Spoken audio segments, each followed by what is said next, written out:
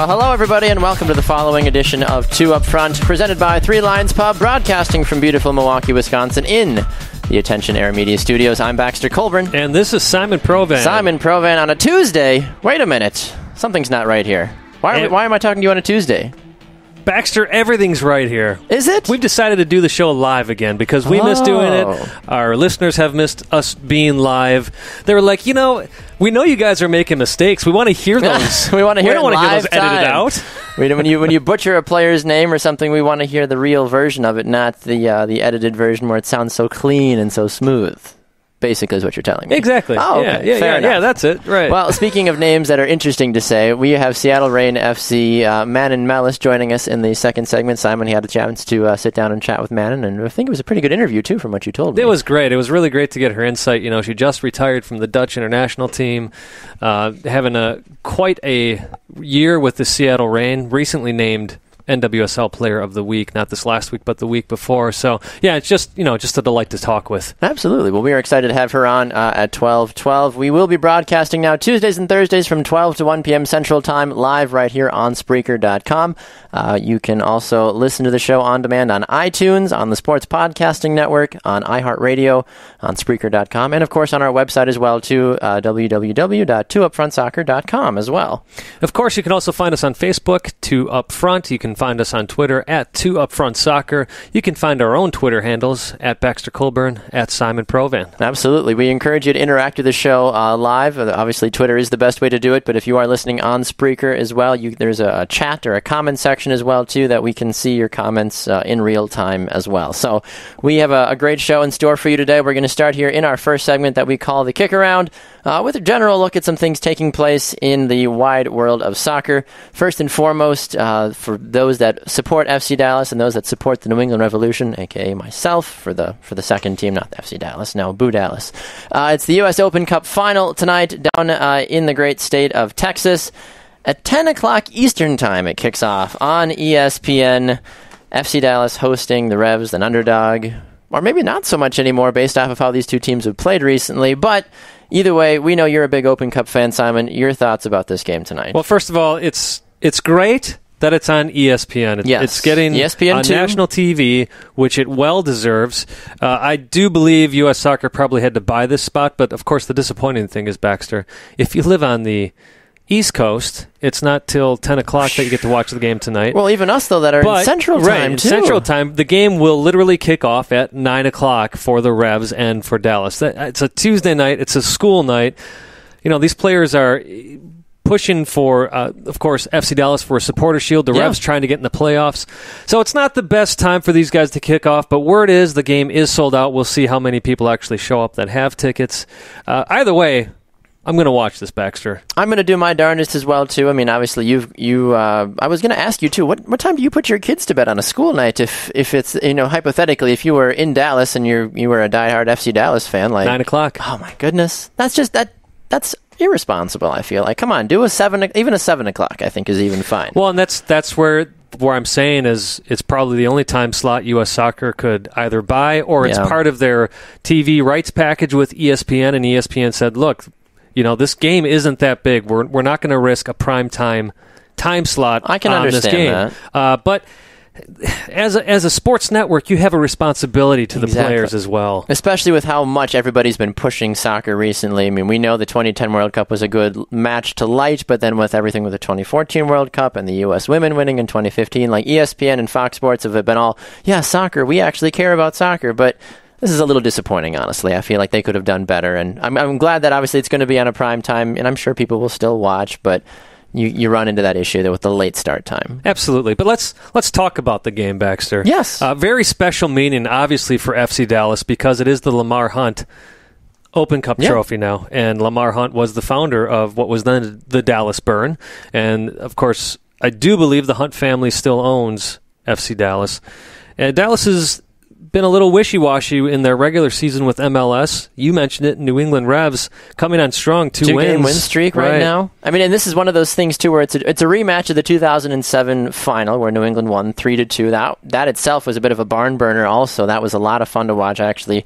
pulled up those highlights the other day, back when guys like who've been on the program before, Wells Thompson ended up scoring the, the game winning goal. I believe Steve Ralston, Taylor Twellman, they all chipped in for goals on that game as well too. And it was it was a very exciting match through and through from from everything that took place back in 2007. Absolutely, and, and let's go back a decade before that. Believe it or not, that's the last time FC Dallas has won a trophy since Really? 1997. That's when they won the the Open Cup. Wow. Okay. So uh, even more special meaning, of course, for FC Dallas. But look, the winner of this game goes on to the Concacaf Champions League. Now we know some clubs care more about that tournament than others, but FC Dallas has a good chance of going to the Champions League with the way they're playing in the regular season. As far as you know, get a few more things together, but they win the Supporter Shield, they're in the Champions League. Obviously, Yes. they win MLS, they're in the Champions League. If somebody from the East wins the Supporter Shield and FC Dallas wins the West.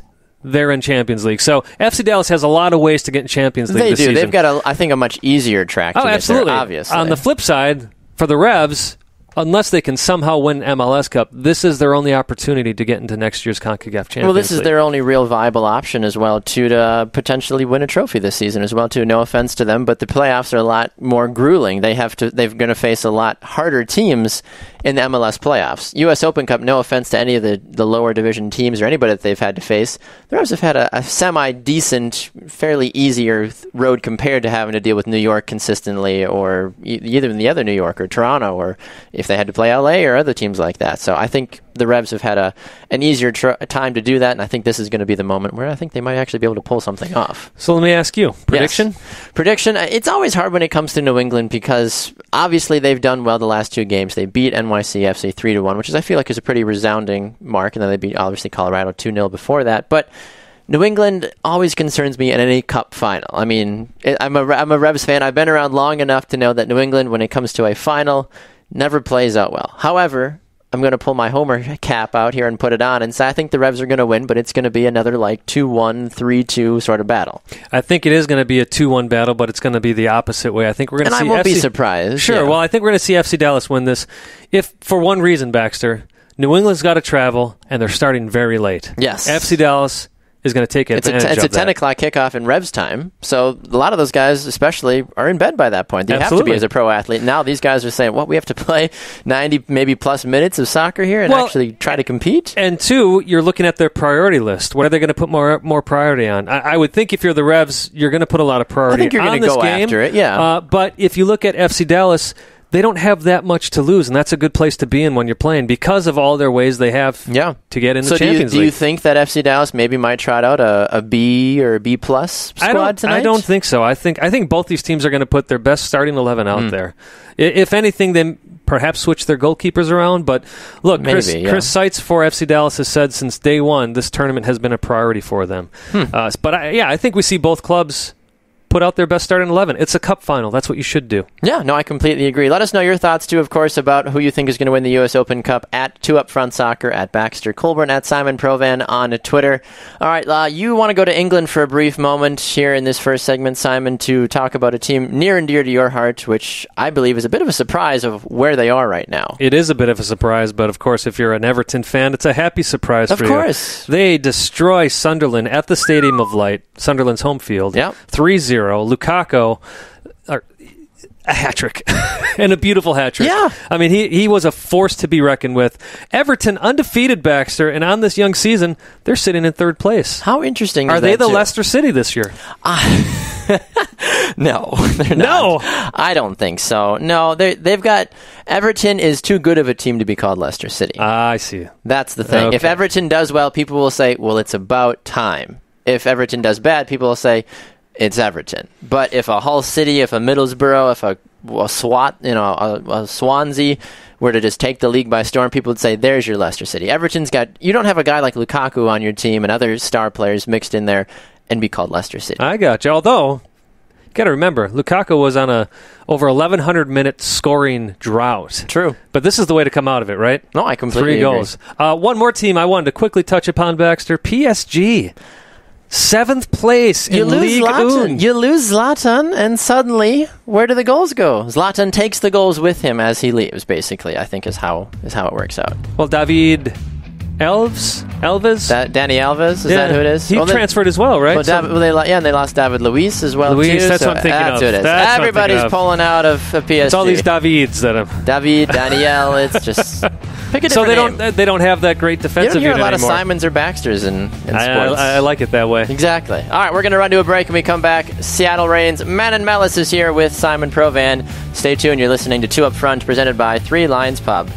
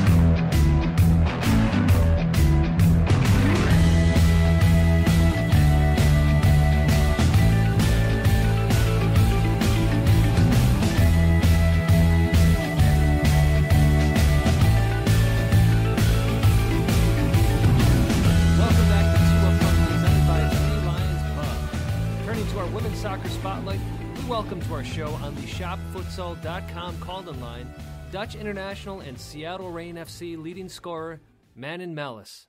Welcome to the show, Manon. Thank you.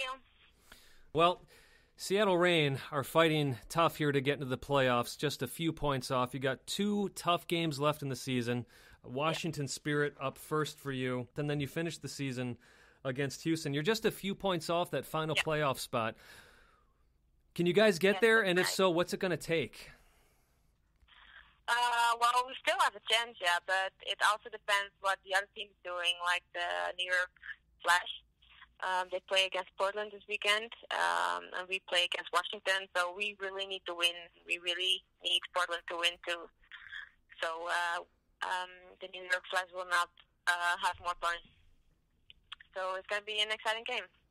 Yeah, and I got to ask you, you got such a talented team. I mean, you got yourself, obviously Megan Rapinoe on there, Kim Little, Kawasumi, Keelin Winters, etc.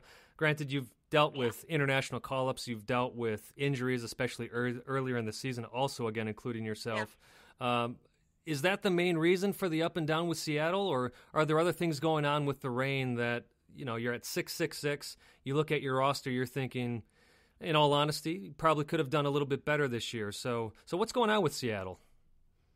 Yeah, well, sometimes it's hard to say, and of course, uh, we had many injuries, especially in the beginning of the season, so it was hard. We played with different start 11 the whole time, but sometimes it's also too easy to say because we still have a really good team. Um, and yeah, sometimes we had really good games, and the, and the game after we played, yeah, really not good.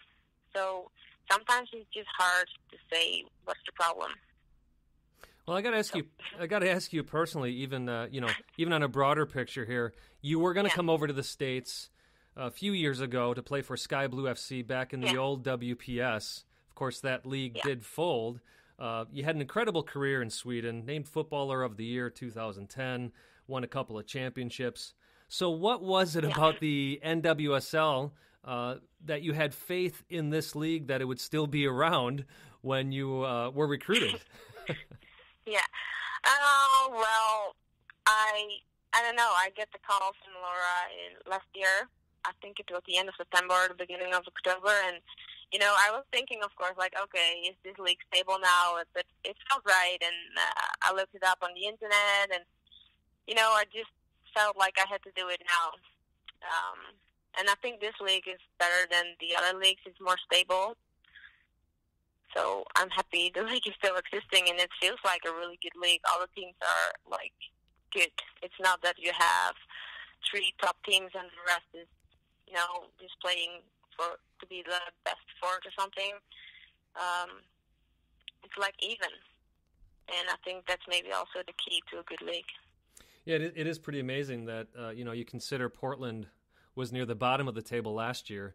Kansas yeah. City, of course, won last year the championship. Now things are a little yeah. bit flipped. You have Portland as one of the top two teams. Kansas City struggling a bit this year. Of course, they've been missing some yeah. key players all year long. But but you're absolutely right. No matter what team you look at, there there are stars spread all over this league, and definitely it's a league that yeah. represents that any given Sunday mentality that anybody can beat anybody on any certain day. Was was it the same in Sweden, or or was Sweden more of having a couple of top maybe two or three teams, and and the rest you kind of knew they would be in the bottom of the table, middle of the table all season long? Yeah, it was more like that. Most of the time, there were three or four good teams with like all Swedish international players and like all other international players. Um, and the other teams were pretty okay too, but not like super good. So you knew like, oh, okay, this weekend, you know, we think we're gonna win. Uh, in this league, it's like you have to be hundred percent else. Like the other team is gonna win. It's just really hard. Laura told me before I came here, like every game is a Champions League game, and it's true. No, that's awesome. Uh, speaking of that yeah. conversation you had with Laura, the story is she convinced you within three minutes to come over to the NWSL. Is that true?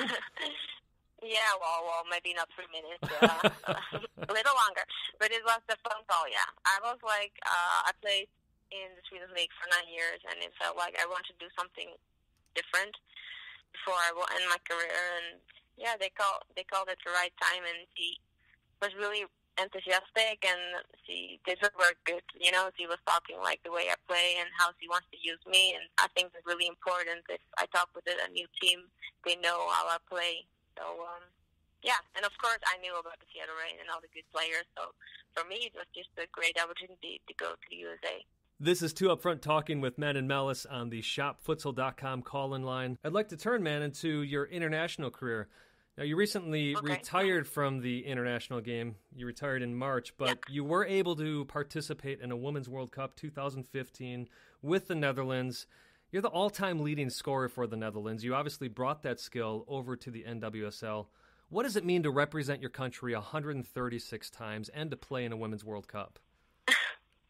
Well, of course, it's a big deal. It's it's like big to play for a country and also playing for such a long time. Um, and when I started with national team, that's 12 years ago, we were like not really good. It was um, not that professional either, and I think we improved so much the last 10 years. Uh, and the last year we played the World Cup for the first time, and that was also a really big team, thing for our team, and also the women's soccer in the Netherlands you can see it's growing, and we got so much more uh, attention in the media. So after that point, we became like more popular, and more girls are starting to play soccer, and it's more accepted. So it's not only a big thing for me, but I think it's also good to see that we are developing the whole women's soccer in our country. Um, yeah, so that's a great thing, of course. So I got to ask you if if the Netherlands calls up and says, "Hey, you know, we could really use somebody of your caliber right now," might there be a chance yeah. you come out of retirement? I don't know. I just had a feeling um, after our Olympic uh, qualification, we did not go to the Olympics. By the way, uh, you know, it was enough for me. After 12 years, I felt uh, it was okay, and you know, we have so many young talented players, and I was on my way to the USA, so I felt like, yeah, I just want to concentrate on my club team and yeah, that was it. But you never know, of course. I just go home after the season and we'll see what's going to happen. And they can always call, of course, but I don't know if I will say yes. Well, that does beg the question will we see you back in Seattle next year? I don't know yet, actually. Um, what I told you before, I'm going home first. That's been like uh, a hard season. It's not that long. I was used to be in Sweden for 11 months, and this is like almost seven but still, it was a really hard season, and I always want to go home first, um, taking it easy, and then I can make a good decision what I want in the future. Absolutely. You know, I know in uh, in May, speaking of tough times, you suffered a tibia fracture, which kept you out Yeah. for for a significant part of the season. Yet you still lead the Seattle Reign with six goals, which is going to put you at about fifth or sixth in the league overall. And yet, congratulations to you! Just a couple weeks ago, you're named NWSL Player of the Week. So, is it Yeah. fair to say you're fully recovered from that fracture, or do you still experience pain in there? Yeah. No, no, I feel pretty good actually. Um, like the beginning of the season was really hard. It was a new team and everything was new. And then I got my tibia fracture.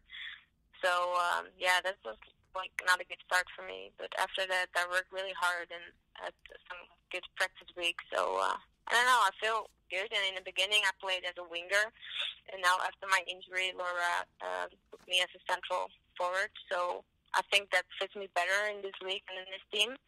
So I feel good, and I just I hope I can score some goals in the last two games. Well, I, I don't know if you realize this. Uh, maybe you do, but do you realize you have 25% of Seattle's goals this season? Oh no, I did not think about that. But that sounds fun. yeah, so responsible for a quarter of the goals on the season. It does make a fan wonder. Had you been healthy all season, where would you be on the scoring chart? Uh, you know, do you see yourself know. as possibly top of the league? well, that's hard to say. Um, you know, I it's it is how it is at the moment. Absolutely. You know, I'm just doing my best, and we'll see where it ends. Well, speaking of where it ends, uh, unfortunately, as much as we enjoy spending time with each other and, and with players as yourself, our time does come to an end on this interview. So I want to wish you the best of luck on your final two games. And uh, I know there's a lot you. of fans that would love to see you back in Seattle. Uh, so so let us uh, let us pull for that a bit. But thank you so much, Manon Melis, for spending some time with us here on Two Up Front. Okay, thank you so much. All right, we are going to run to a break. When we come back, plenty of action to talk about, Major League Soccer, and of course, other U.S. stories out there. Thanks again, once again, to Manon Melis for joining us here on Two Up Front.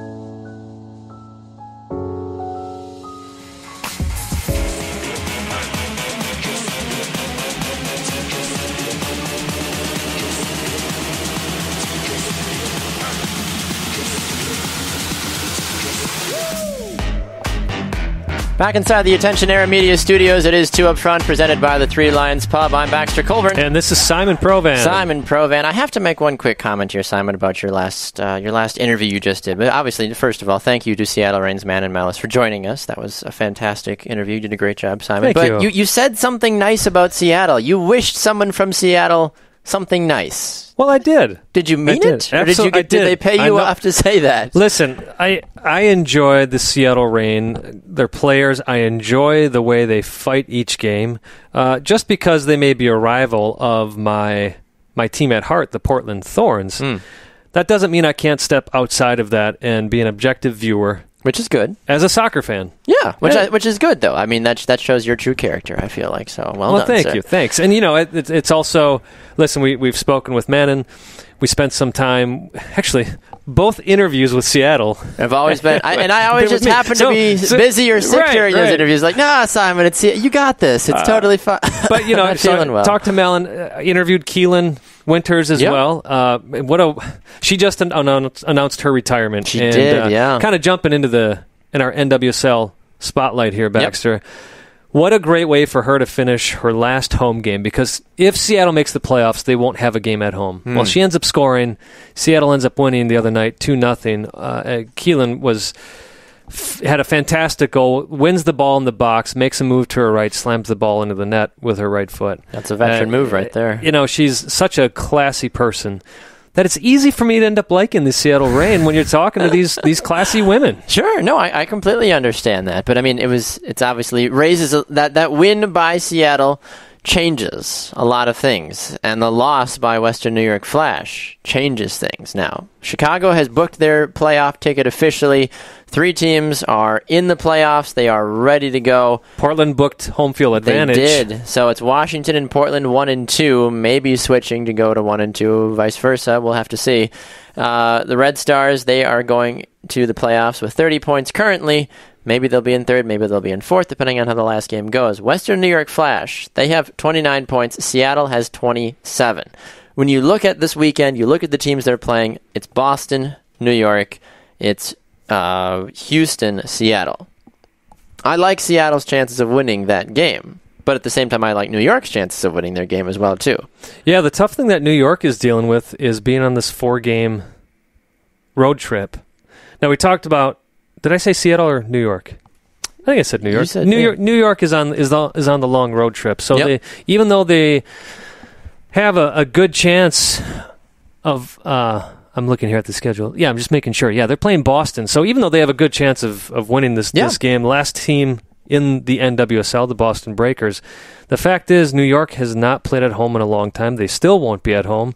So it makes you wonder are their legs and their bodies just tired from all this travel? And does Boston's been looking decent these last few games? They have. I mean, they're they're going to probably finish either three and fourteen and two or four, 14 and two. They- They've managed to get into double digits for goals, but Boston has been two, five and two at home this year. They're Well- not they're not good at, at home. And here's the other thing, Baxter. This game against Portland that Western New York Flash lost, they came very close to tying it up. They were down 3-0. I have to admit, I actually I had to get one of my daughters in bed, so I stopped watching the game after that. Then I flipped on the highlights and saw that Western New York Flash almost tied this game up with 13 minutes to go. A goal in the 77th minute, a goal in the 80th minute, Yeah. and almost a goal right in stoppage time from Williams, from Lynn Williams. Great ball from McDonald, by the way, who was also on the show last week. Um, I thought Western New York Flash may have pulled this off. So it's what I think is that Western New York Flash is going to be so hungry to have a complete game against Boston that I agree with you. New York does end up winning that game against Boston and breaking Seattle's hearts, who I also think will win their next game. Oh, well, when you look at it too, if you look at the top goal scorers in the league, it's Lynn Williams with ten goals for New York, and it's Jessica McDonald, who we had on last week, with nine goals. And it's it's one of those things where you're like, wow, they know how to put the ball in the back of the net. But every time I look at that, though, I think back to the game where. Uh, New York completely obliterated Boston and kind of allowed Jessica and Lynn to pad their stats a little bit because Sure, I think they both sure. got at least two or three goals each in that game. So Well, and then the flip side, you look at Seattle, beginning of the season, uh, tons of injuries. Yeah, you know, I mentioned that train wreck. tons of injuries. So it makes you wonder how good, how high would Seattle be up in the standings if it wasn't for the injuries and all the international call-ups? I completely agree with you on that. I would be very curious to see what Seattle would be capable of doing, even if they had Hope Solo as well too in their lineup. Where would where would a, a dynamic goalkeeper, regardless of her issues aside, you take just the, the player, the body figure that is her as a goalkeeper. You may have pulled out a couple more close games if you had her all season. Maybe. Maybe, maybe. You know, Goalkeepers are that weird position. You never know. We've seen the best goalkeepers have blunders, and you've seen the worst goalkeepers make unthinkable saves. you know, at the same time, the keeper that they have in there right now, I mean, She's doing well. she's doing she got a knows shutout. what she's doing. She got a shutout against one of the best teams this past weekend, two nothing over the Washington Spirit. Yeah, Haley Kopmeyer has three total clean sheets on the season. Hope Solo has five, but know, obviously hope I was in for more games, of course, too. But it's going to be interesting. Let us know your thoughts, of course, who you think is going to win this weekend in NWSL. Uh, at two up front soccer on Twitter at Baxter Colburn at Simon Provan. Uh, one of the things we also need to talk about Simon uh, is in pertains to someone that no longer is involved in the women's game on the playing field. Uh, but, but she revealed this week, Abby Wambach revealed this week that she was doing a lot of off field extracurricular activities while she was an active player. According to her, she uh, reveals that she used uh, alcohol and prescription jugs uh, while she was while she was playing until she got arrested for driving under the influence back in April. What are your what is your immediate reaction when you see an article like this come out? Wow. Yeah, that's that's what it is, Baxter. Um, you know, just I've never been that positive about Abby. I'm not about Abby. I'm mm-hmm. I'm not going to be shy about saying that. It does put things a little bit into perspective, however. Um, she's owned this now, and she's saying that, you know, I've been in this dark place. Uh, it's it's hard to put myself in that position because I've never had to deal with that. Yeah. You know, at, at the same time, you you, you do kind of wonder if I'm going to throw some negativity in here. Is this for book sales? Hmm. Because she does have a book coming out, doesn't she? It's, she does. Uh, she has a new book called this Forward. Is, she talks about all of this in the book. Yeah, and she's set to release this uh, today. Technically, she has officially released it, or maybe it's considered next week. It says Tuesday, which the article came out this morning, at least here on on ESPNW. But either way, her new book is coming out. That is that is a possibility for people to be like, oh, I want to know more about this, but it's a real issue, though. How many how many times? I mean, to use a, an American football thing, Brett Favre, he had issues for the Green Bay Packers for a long time with his painkillers. I think that was more yeah. when I was a bit of a kid, so Vicodin. I didn't know it as much what was going on. But it's so easy, I feel like, at times to to get hooked on things like that because as a professional athlete, your body takes an absolute beating day in and day out, and sometimes you just want all the pain to go away. And sometimes there's no easier way to do that than having a couple extra drinks or having a couple extra things here and there to make the make the nerves feel a little bit less. Well, and it's interesting too, Baxter, because it wasn't until she was in her 20s really that the drugs and alcohol again the drugs being the painkillers yep. that, that, it really started to take a hold of her. Uh, she does talk she was on good morning america that just this morning talking about how the alcohol started at 21 years old and the, the pain started the painkillers started a little bit later.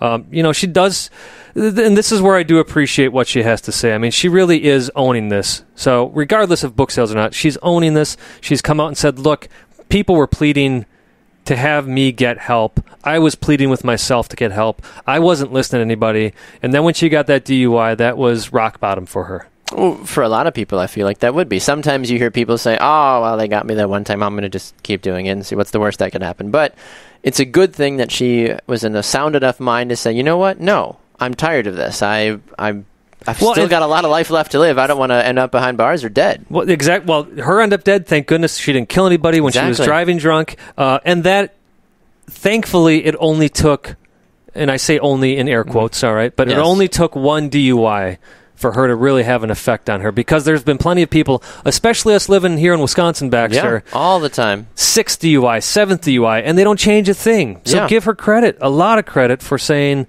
uh, I wasn't listening to myself. I wasn't listening to my family members. You know, she does talk about it when she was younger and starting to figure out that that she was gay. That that was very difficult on mm-hmm. her. A lot of guilt there. A lot of shame. I'm sure. It took her a long time to get over it. Yeah, and, um, and in today's society too, you hear about it all the time. People still are having trouble coming out, even though it's much more acceptable. Right. Well, what I give her credit for is basically not coming out and saying, you know, it's because of my family, because of all the pressure I felt yeah. of not being able to come out. That, but she doesn't. She says, look, I this this was my struggle when I was younger.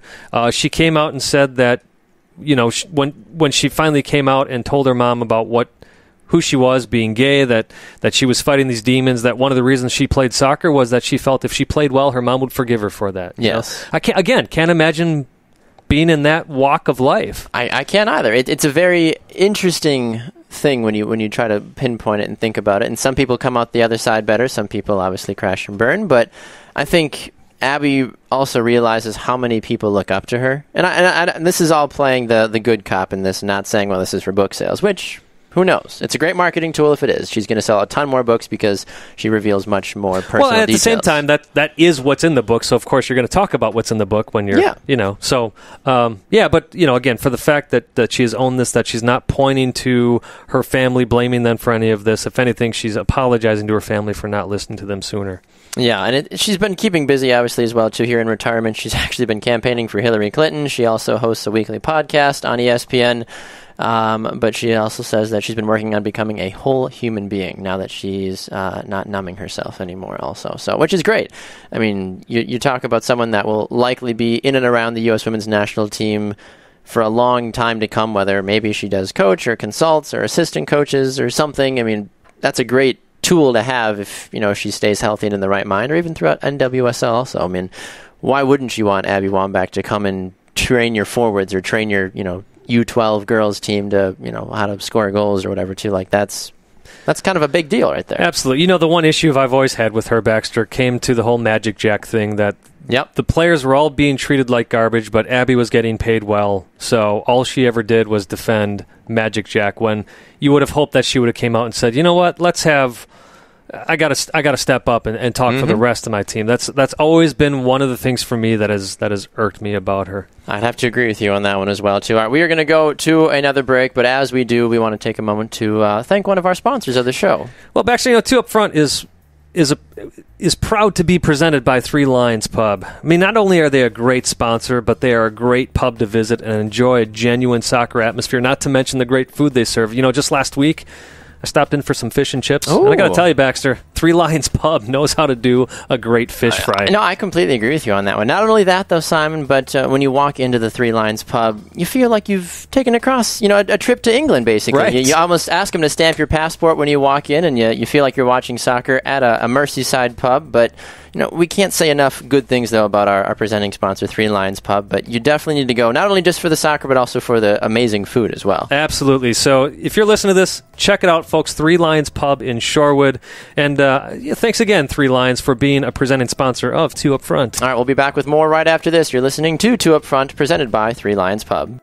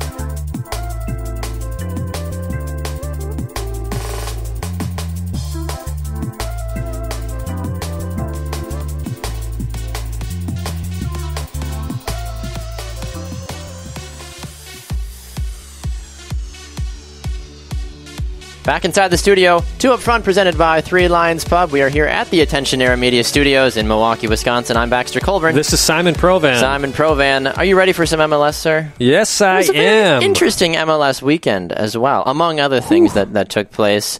Uh, I, I'm thrilled because the New England Revolution got a much needed victory against the quote unquote best team in the Eastern Conference. So that felt good. Yeah, well, I, I had a great weekend for all my teams, Baxter. Yeah, Portland. Thorns won, Portland Timbers won, which was a huge win for them. And then, of course, they're going off to Champions League this week and now facing Saprissa, Yeah. where they will lose. Uh, and then, of course, tomorrow night, as we talked about at the opening of the show, Everton with their 3 0 win. Over the mighty Sunderland. Ah, Sunderland and the Packers won too. So that's And the Packers big- won. and the Badgers won too. So look at that, five teams. Boom, boom, boom. Are you a Badgers fan or are you a Texas? Are you a Texas fan? I'm both. Are I'm you both? both. Okay. If they were to play each other, I'd be cheering for the Longhorns. Oh, okay, good to know. I went to school. They gave me money, and I gave them even more. So Hey. hook 'em horns. Go yeah, say go horns, hook 'em horns. All right. Uh, looking back, I mean, the first and foremost thing we need to talk about, of course, is the return of the. Not he's not even the prodigal son. He's more like just you you. You won the lottery. You didn't win the full lottery, but you still won a, a pretty big lottery. You get Landon Donovan back on your team. He came back in the four-two thrashing of Orlando City. He was only on the field for about seven minutes and got some touches and looked decent, but obviously not enough to really know where he's at. Well, his own his own uh, evaluation of his play was. I came into a game where both teams were exhausted, and I was the slowest player on the field. The game has evolved over the last year and a Yes, half since has. he's been out. Yes. So uh, you could make an argument that maybe he was the reason that the, the second and final goal for Orlando City happened. He was in the vicinity, but Sure. it's you really would have to be nitpicky if you want to say that it's his fault. Uh, looking at it though, the weekend across the board, Vancouver they got a victory. Before we step away from Donovan, sorry, jumping on you, Baxter. Klinsmann said it's pretty cool. Did he really? He I did. was. I've been wondering honestly what he thought. I, He said he's already been asked a lot of questions. Of I'm sure. Would, would he give Donovan an opportunity? And he just said, I think it's cool that Landon's back on the field. He just wants to give it another shot. He thinks the Galaxy are doing things right by bringing him back hmm. on slowly. And a lot of people are saying this is a publicity stunt. I'll be the first one to bash the LA Galaxy for doing such a thing. But I think it comes down to the fact that they're weak in the midfield. they're extremely weak in the midfield. I and mean, they knew a guy that was available. Exactly, and they played it well this last weekend, though. Gio Santos, Robbie Keane, and Donovan all on the field at the same time. Obviously, it'd have been great to see Gerrard and Zardes on there as well too. But Sebastian Lletget, he stepped up and played a great game. Also, Had a great week. He had a great week as a whole. So, be be it as it may, when when this core people or this core group is healthy, they're still going to be one of the best teams, even if they're depleted in their numbers. When they, if the players that they have currently are still healthy, they're going to be a very, very dominant force. They just need a goalkeeper. yes, Brian Rowe. Well, when's the like? And we've had this conversation. When's the last time LA really had a, an elite goalkeeper? I know we've tossed Donovan Ricketts' name Donovan around. Donovan Ricketts. We've we ta- I mean Joe Cannon was there for a while too. I think Kevin Hartman spent some time with them as He well. So did. they kind of cycled did. some of those big goalkeepers for a while. Yeah. But when you think of the LA Galaxy, you hear all the firepower, and then it's like, who's in goal? Oh, Brian Rowe. Well, no, they had uh, Penedo in there who That's played right. fantastic for them, right. and then they had a contract dispute, so he said adios. That's right, literally, probably. All right. Um, so flipping over though back to Vancouver for a moment, they get their first win in as many weeks as I. I I, I thought honestly that my son was going to be born first before Vancouver uh, was going to finally win a game, but they got a victory against the team that we thought they would beat. They beat Columbus three to one. Good for Vancouver. It was a much needed victory, and we, I talked about this last week on the show too. With that win, Vancouver, they're only four points out of the playoffs. They find themselves in the top spot outside of the playoffs because San Jose and Seattle are right behind them. But any one of those teams wins on any given day, the whole thing shifts and goes crazy again. But right now, Vancouver finds themselves atop the atop the not in the playoff teams. Right, the best of the worst, as they would say. I think right? that's a compliment, depending on who you ask. Well, San Jose still controls their own destiny because if they win their next two games, Yeah, that puts them at 39 points. So that actually puts them in the last playoff spot. that is true. Uh, but San the- Jose and Houston and Seattle, they all have two games in hand. right? But San Jose the, is the only one that if they win both games, they're in the playoffs because that would put Seattle at 38. If they win their two games, and Houston's not going to make it, so there's no no point even talking about them. But True. the way Portland looked the other day, I was shocked. They looked so well in that 1-0 win they had over um, RSL. Yeah, I mean, in RSL, let's be honest, they did not have a good week. It was a double week for those of you that play uh, fantasy and RSL. Yeah, they came from behind to, to draw the Galaxy 3 3, but anytime your team But gives that, up that, three that- goals. that had though- more to do with Brian Rowe and his silly mistakes than exactly. it did RSL. That should have that should have been a three one Galaxy victory. I feel Absolutely. like not a not a three three draw, and then you, you lose to Portland also. Uh, other notable scores: TFC is back in their winning ways again. Uh, they beat Chicago two to one. Okay, they beat Chicago. I mean, we know Chicago was put together a couple of games Yeah. recently, but TFC's a better team. But I'll tell you paper. what, Jozy Altidore, he's looking good for Toronto. he is. He's been putting the ball in the back of the net, which we know he's capable of Is, doing. is he one of the most streaky players in the history of this league, though? Yes, I think he's one of the most streaky players in the history of ever. Like, like let's be honest. I mean, he can't he can't keep it together. Like suddenly he's you know the the he's the heir to the Clint Dempsey whatever throne at the U.S. men's national team or Donovan or whatever famous striker you have. And then other days people are like, why is he on this national team? Why is he even in, why does he even have a job? Like he's horrible. And you, you can't you can't honestly say that you put all of your chips in Jozy Altidore on any level and say, yep, he's a quality player. He can be. He can be, But he doesn't know yes, how to be not consistent. right, right, right. even without injuries. Right. Well, Baxter, a team that I am surprised with, continue to be surprised with, is the ineptitude of the Montreal Impact. Oh my gosh. Losing earlier in the week to uh, Orlando four to one. How are they still and in the playoff? On, on Saturday, they they draw with Philadelphia one one. Two teams that I feel with this with the power that Montreal has should have handled and, and beaten both. Of Well, some of the things that it comes back down to are the inability of Piatti and Drogba to, to be consistent, to be dangerous players like they were for such a long time. Well, of course, Drogba didn't play in that. Uh, I think it was the four-one loss. No, he did play in that. What? There was a game he recently didn't play. Anyways, I'm talking out of my mind. so- Regardless, though, if- when Didier Drogba's on the field, I don't care if it's a, a U5 Sunday rec league or if it's an MLS game or whatever league it is, you should have an opportunity to win and or compete at a very high level. And Montreal hasn't done that. I don't know if that's a Drogba problem or if that's a Montreal problem. I'll tell you what, they went after Harry Shipp, who they should have gone after as uh, a com from Chicago. Can Oh, you imagine goodness. him on that team? He would, to me, he would be he would be the guy that. I really want to see goes him through. on a better team. Yeah, I do too. I would love it. I would love it. And I know he's a DP, so I know there's a lot of things that have to. Well, the big thing certain is is there's talk of a lot of European teams wanting to buy him. Mhm. I saw that. I, I thought that there. I thought he might. Honestly, I, wa- I was a little surprised if he they still do. remained. Maybe Chicago can finally do something with that money. doubtful. They'll probably still lose a an allocation or some Oh, spot right, uh, yes, to yes. who, to some to the Galaxy or the Red Bulls. It'll just magically go away. I don't know how. Speaking of the Red Bulls, Hmm. up to nothing on DC United at home.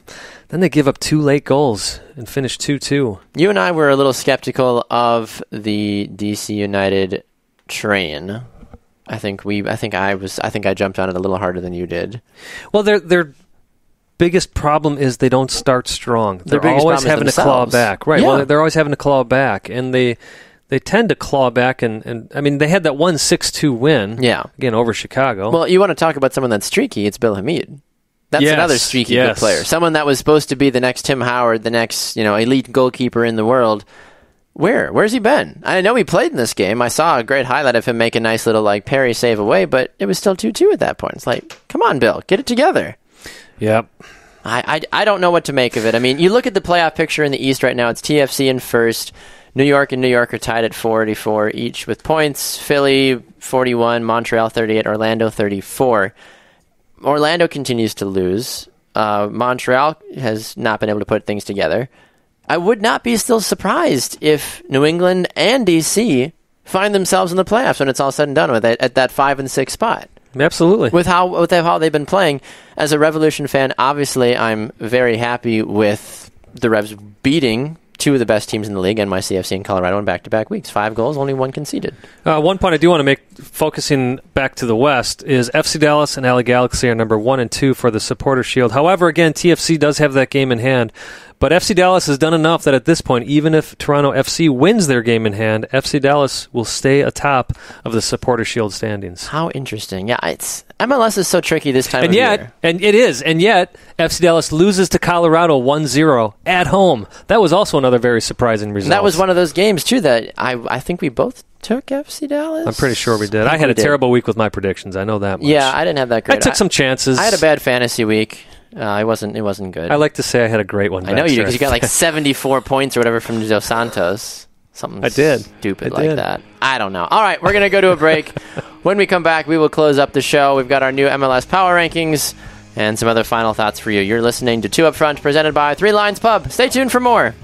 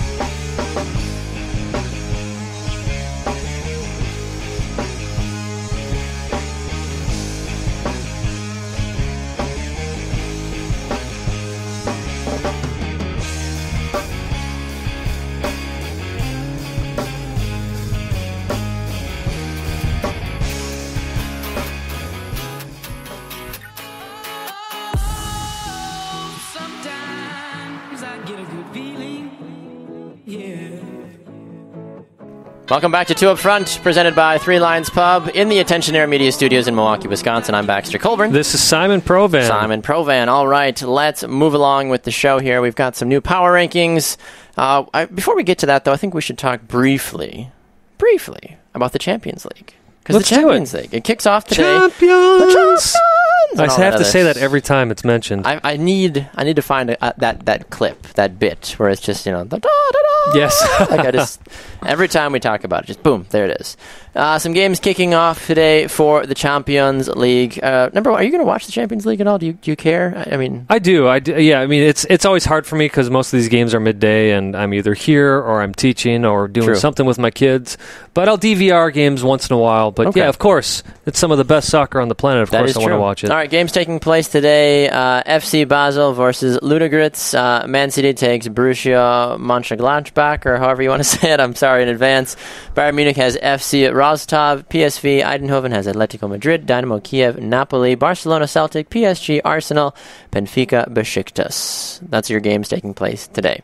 Bunch more tomorrow as well too. Wait, are we'll we picking any winners? Or are we? How do you want to Do do, we even this? know who half these teams are? Well, I, I, I actually do. think I think Arsenal. teams I that- think Arsenal is going to shock the world and beat PSG Oh, today. that was that was the one. Yeah, that was the one I was going to say. I think Benfica. I was doing a little bit of research on this, Baxter. Benfica is almost unstoppable at home. Hmm. really? So I think Benfica is going to take Wow. that. Uh, Napoli's got to travel a long way. I think To Dinamo, Russia, yeah. Yep. So I think Kiev ends up taking that game. Interesting. Madrid, Uh, I think should Atletico should beat PSV. Yep, I agree with that. Man City should win. Man City should win. could be an upset. Yeah. Maybe. Barcelona's going to beat Celtic. Bayern Munich's going to beat FC Rostov. and I think Basel or Basel, Basel, will beat uh, Ludogorets. Ludogorets. Ludogorets. I'm looking over your shoulder. Couldn't tell if that was a T or an F. Ludogorets. So there's our quick predictions. Okay, fair enough. Yeah, we'll talk about it probably more on Thursday's show. Uh, we've got some great stuff coming up for you, of course, on Thursday. We won't give you any hints officially yet. Just stay tuned to our social media pages at Two Upfront Soccer on Twitter, at Baxter Colburn, at Simon Provan, and Two Upfront on the great Facebook as well. All right, power rankings, yes. Power rankings. All right, a couple of swaps, couple of changes. Some teams are in, some teams are out. Um, my number five this week is the New England Revolution. I look, you don't beat two of the best teams in MLS. You shout out one of them, you score three on the other without getting a little bit of respect in my book, whether it's the Revs or not. That could have been any team. Sure. No, I agree with you. I, I give them respect, but I'm definitely nowhere near a believer in the. I'm going New based England off the last two games for some of these teams. So the Okay, last couple of games here, Changing the rules again. That's fine. Go I ahead. thought it's the Go last ahead. three games, three or four games. I don't know. Every time I try to do it, you're like, "No, that's not how we do it." I'm like, "Well, write it down." Ah, okay. So it's me that's changing the Yes, rules. Yes, you're yes, the one that's always changing Ah, the okay. rules. All right. I'm glad so we that, cleared the that up. Revs are my number five team. Who do you have? I have New York City FC. So the team that they beat. How interesting. Yes, but you're looking at two games. I we've always talked about looking at like five or six games. True. If any, you know, yeah, the Revs beat them once, Mm-hmm. but again, if the playoffs started today, my money would be on the Baby Blues beating the Revs, especially in yeah, a two-game obviously, playoff. because the Revs. okay, so that's why I have them there. It's a power ranking. I know, and that's why I have NYCFC at number four. Okay, because NYCFC is still a better team, All right. but the Revs. Okay. the Revs won the last two games, which is important. So you wanted to get me angry just for getting? Just, okay. All right. Yeah, just, you're just to clear that it's up. fun to push a couple buttons Good. every once Sure, in a while. sure. Yeah. Well, my number four is FC Dallas. They've they've been shaky up and down. okay. uh, but I still believe that they're one of the best teams in this league. Why don't I don't have them higher uh, is simply because I had them at number two last week. Uh, I, think that three teams above them are playing much better. One of them, surprisingly, actually two of them, I would say surprisingly. Yeah, I would agree with that. Um, FC Dallas is not in my power rankings this week. They were number three for me last week, but I opted to to make a sub, make a change there with the Revs uh, and with NYCFC. I mean, yes, FC Dallas is a quality ball club, but they've been a little little shaky for me recently to to fully put my my backing or my money behind it. Um, moving on to our number three because we have the same. We have the number three, two, and ones as the same. Yeah, that doesn't happen very often. No, not this late in the season. True. So number three for us is uh, Toronto FC. Uh, another victory. They've only really lost. I believe it's one time. I think in the last probably seven or eight games. I might be a little burler. I might be a little, might be a little iffy on that. But Yeah, no, way- you're you're correct. It's Okay. one loss in one, two, three, four, five, six, seven, eight, nine, nine. nine games. Okay. See, I mean, And yes, you know, we can look at this No and say, Gio or not, still Right. a good team. Well, they, they they only beat Chicago. Yes, but they also played in Chicago. But so Chicago to has been playing And well They've the been doing time. decent. Yeah, I agree with that. All right, number two, Simon. Who are we at? No, number two is the I will say the revived LA Galaxy, not because of Landon Donovan, but because Giovanni Dos Santos has been finding the back of the goal like it's nobody's business. Yes. Yes, they had that uh, awful three-three draw with RSL that they should have won,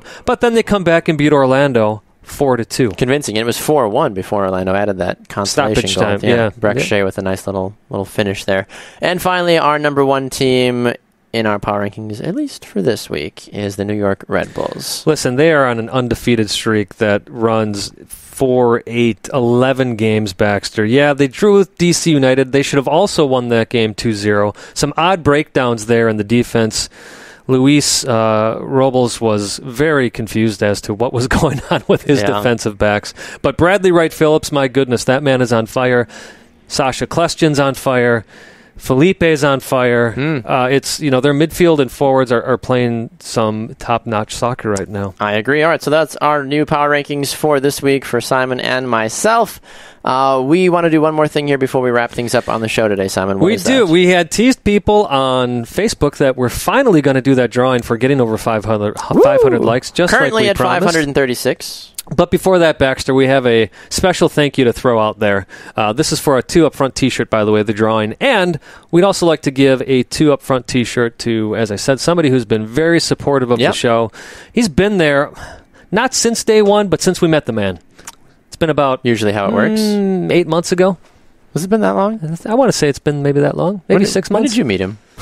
Well, we had met again at the Milwaukee Torrent Ah. announcement party, but And that him and I had met before okay, I was going to say I haven't known him as long then. Okay, okay, because okay. I was going to say I was like, how long have you known him? So, him? anyways, he shares almost every post we put out there. Yep. He loves the show. Uh, He's talking to everybody about it. So, uh, Anthony Larson is the man's name. He goes by Tony, I believe. Is that right? Yes, Tony. Tony. So, Tony, we're going to be sending you a two up front t shirt. So, thank you, Tony. We appreciate you, man. go right on our Facebook page and let us know what size t shirt you wear. Let everybody know. Let the world know. Yeah, Uh, we want to special know. thank you. Your special thanks, Tony. We appreciate your continued support. And now, Simon, we have a drawing, of course, as well. You sure? Do you got any uh, drum rolls or anything Uh, for us? I can give you some fancy music. Give me some fancy music. Okay, I'll do. Um, we'll do. Whoop, we'll do this. Oh, I like it. I like this one. All right, ladies and gentlemen, so I'm scrolling through the names on all of those folks who have liked our Facebook page, and the winner is Amy Horst. Amy Horst. Wow! Amy Congratulations, Horst, yes. Amy Horst. You will be receiving a two up front shirt in the mail. Just let us know uh, the sizing and address, of course, so we can ship that off to you. Yeah, Amy will, will reach out to you personally. Yes, of course. But Tony, we know that you're listening to the show right now. so- absolutely, Tony. We love Tony. Hashtag Tony for life. Yeah. So congratulations, Amy. Thank you to all of you. Mm-hmm. Uh, we, we hit 500. It took a long time to get there. Let's be honest, Baxter. But ever since then, it seems like Continue things are just up. exploding. Well, one of the things we always try to tell people as well too, if you enjoy listening to Two Up Front, if it's something that you listen to either on a weekly basis or a bi-weekly basis, you can go to Facebook and you can actually invite people to like the page too. So we appreciate if you go and do that. I try to do that on a daily basis. I know Simon tries to do that as well too. Just go and hit that little like invite friends tab and just start inviting people that you think either enjoy soccer or just want to hear two guys talk about soccer for a The while. great thing is, it doesn't cost you anything other than two seconds to click. Exactly. And who doesn't have two seconds? But I either way, you know, we just we sincerely appreciate all the listeners. Baxter, we've been doing this for about a year and a half, maybe a little Yep. bit over now. I can't believe where we're at, and I it's all because of our awesome listeners and the sponsors that just keep lining up and saying, "Yeah, we're going to support you guys. We like what you do. It's it's a bit unique. We love the fact that you keep a foot in the local soccer environment, but that your footprint's also expanding nationally." Exactly. Well, we've had a fantastic show. Special thanks to Seattle Reign's Matt and Malice for joining us. Coming up on Thursday, we've got some more exciting interviews. Stay tuned to our social media pages, which are what, Simon? Facebook, we are two up front. Of course, on Twitter, we are at two up front soccer. Along with that, he is at Baxter Colburn. I am at Simon Provan. All right, you can also find all the latest and greatest information about the show by going to our website, twoupfrontsoccer.com. Tuesdays and Thursdays, put it in your schedule, set the reminder, tell your friends from 12 to 1 p.m. Central Time, live right here on Spreaker.com. Special thank you to all of you that tuned in. We appreciate it. He's Simon Provan. I'm Baxter Colburn, with our manager being the one above. We are two up front.